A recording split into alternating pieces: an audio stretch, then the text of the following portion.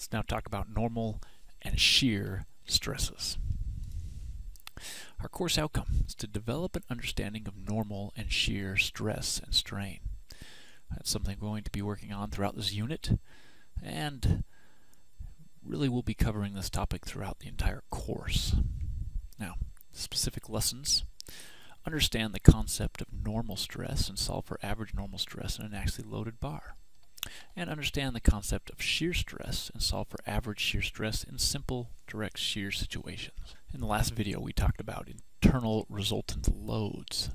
Okay, uh, here's let's look at an example. Here is a simple structure. It's a hanger, the red rod shown, connected to a larger structural beam and is supporting a load. Now what I want to do is look at the internal resultant loads.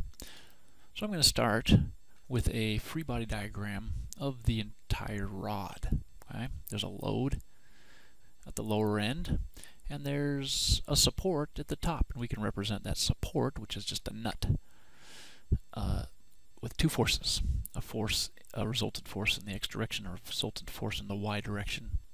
Summing forces in the x direction, we know that the resultant force, or the reaction force, is equal to zero. Summing forces in the y direction, we know the resultant force vertically is equal to p. Okay.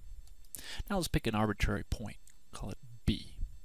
And we want to find the internal resultant loads at B.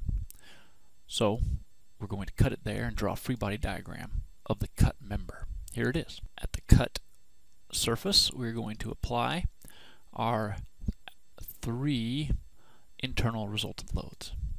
A normal force, an internal shear, and an internal moment. Summing forces in the x direction, we know the shear is zero, the moment is zero, and summing forces in the y direction, uh, we know that the normal force is equal to p. Let's look a little bit closer at what's going on there, right at point B. Okay, we've zoomed in. Here I've shown the internal resultant load is a normal force. And we show that normal force acting right through the centroid of this cross section and is acting perpendicular to the cross section. Now, we know that that force really isn't just traveling through the center of this member, right through the centroid, but really the whole member, all this material is participating in transferring these internal loads. This cross section has a surface area that we're going to call A. And to represent what's really happening, we're going to take that normal force and spread it over the entire cross section. If we do that, we could represent it with this picture here on the right. And what we're going to call this uh, distribution of force over the whole area is uh, a normal stress. And we give it the symbol, the Greek letter sigma, a lowercase sigma. And sigma will be used to represent normal stress throughout this entire course. And the stress is normal because it's perpendicular to the surface. And it's in the direction of the internal resultant normal force.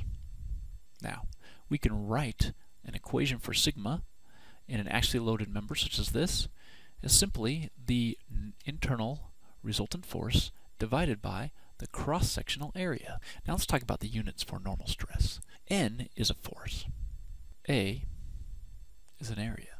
In U.S. customary units, uh, the force is usually going to be in units of pounds, and the area is typically in inches squared. Sometimes this is this is a little bit of a small unit for the normal stresses that we're typically looking at in engineering.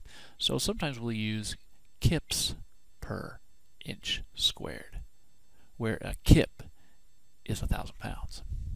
Now, in international system, the units for force are typically in newtons, and area is typically in meters squared. Now, a newton per meter squared is also uh, called a Pascal. Okay? And a Pascal is really a, a, very small stress, and uh, in engineering, we our stresses are uh, usually large enough that it's more convenient to write our units in mega pascals, where 1 megapascal is equal to 1 million pascals.